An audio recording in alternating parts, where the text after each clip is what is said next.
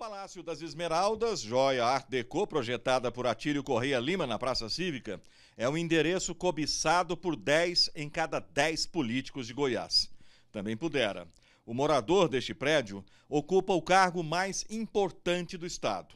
O governador é o homem com a chave do cofre.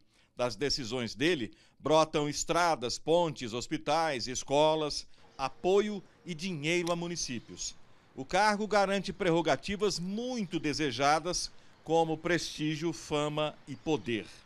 É muito difícil que um político ocupe a Casa Verde e saia mais fraco do que quando entrou. Em geral, saem fortalecidos. Morar nessa casa não é para quem quer, é para quem pode. Desde que foi inaugurada em 1937, teve apenas 59 ocupantes, mas alguns gostaram tanto que voltaram várias vezes. O lendário Pedro Ludovico Teixeira, que mandou construir o palácio, passou por aqui nove vezes, como governador ou interventor federal.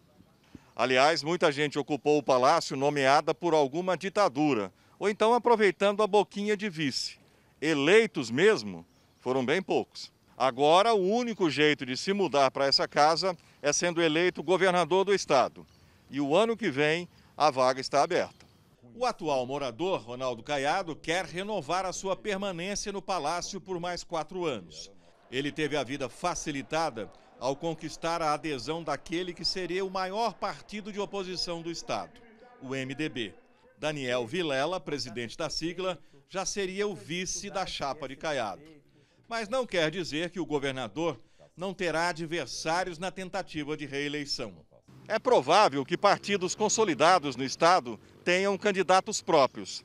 Partidos pequenos também podem lançar nomes ou se juntar todos em torno de um nome só.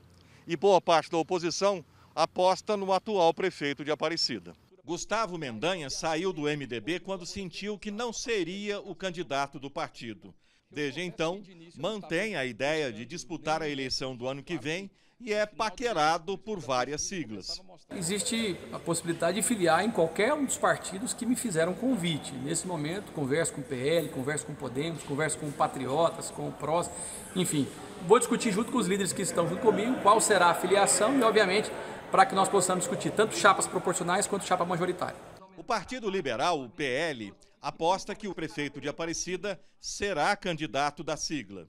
Lógico que preferiríamos ver o nosso próximo governador no PL, mas lógico que tem outras siglas, como o Republicano, como o PROS, mas hoje eu acho que Gustavo Mendanha ele caminha ou no PL, que graças a Deus hoje eu vejo que tem mais chance, ou no Republicano. Governar um estado é tarefa muito complexa, mas viver no Palácio das Esmeraldas é um privilégio e tanto.